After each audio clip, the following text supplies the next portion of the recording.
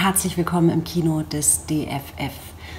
Heute habe ich einen, wie ich finde, ganz besonderen Film für Sie ausgesucht. Er heißt Was vom Tage übrig blieb, The Remains of the Day.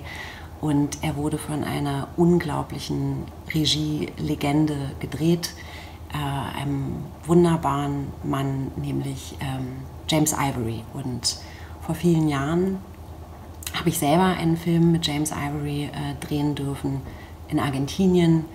Und ähm, dieser, der Film war unglaublich besetzt ähm, mit Charlotte Gainsbourg und Laura Linney und ähm, auch dem unvergleichlichen Sir Anthony Hopkins. Und ähm, ich war so baff, dass ich das machen darf, dass ich mit, äh, mit solchen Schauspielern vor die Kamera treten darf, aber auch erleben darf, wie James Ivory inszeniert. Und zur Vorbereitung äh, auf diese unglaubliche Erfahrung habe ich damals äh, den Film gesehen, den ich heute für Sie ausgesucht habe. Und ähm, ja, ich ähm, liebe Anthony Hopkins. Es war unglaublich, ihm zu begegnen, einfach weil er nicht nur dieser einmalige, geniale Schauspieler ist, sondern auch ein wirklich wunderbarer Mensch, sehr offen, sehr großzügig.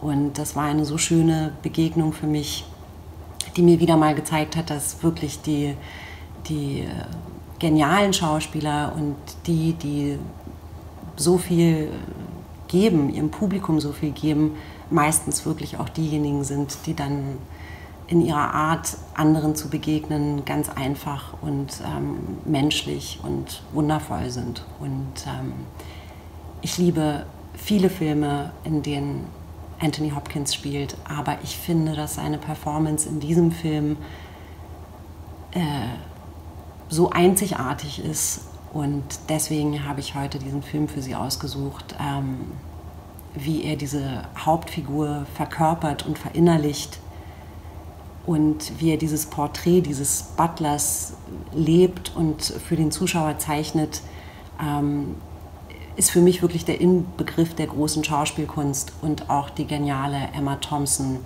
mit ihm zusammen auf der Leinwand sehen zu können, ist, finde ich, ein absolutes Geschenk.